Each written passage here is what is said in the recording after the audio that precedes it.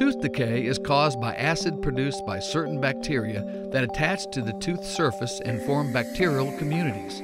These bacterial communities are called plaque.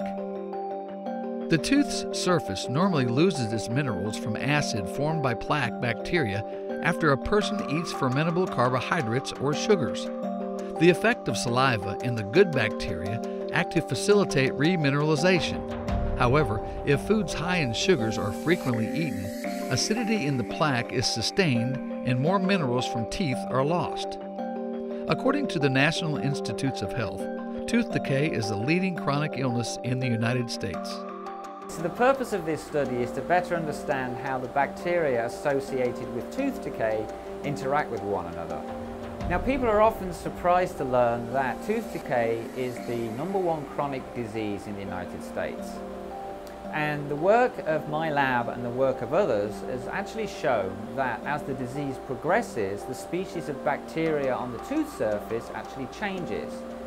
And so what this means is that there are actually different species associated with both health and disease. And we can think of these different species as actually being good or bad. And so what we're going to do now is we're going to use um, DNA and RNA sequencing to examine these different bacteria and determine how different they are at the genetic, or more precisely, at the genomic level. And to do that, we're going to use a machine called a next generation DNA sequencer. And this is a next generation sequencer here. And this is the first one um, at Clemson University. And what I'm going to, what I hope to do through um, collaborative efforts is to make this technology available to other researchers campus-wide.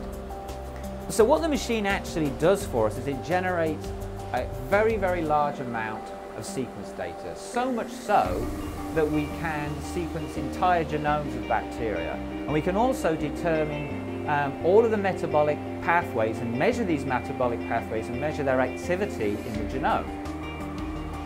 Um, we can do that for lots of bacteria, for many bacterial species all at once. So what that means is that we're able to determine how different species of bacteria interact with one another on the tooth surface.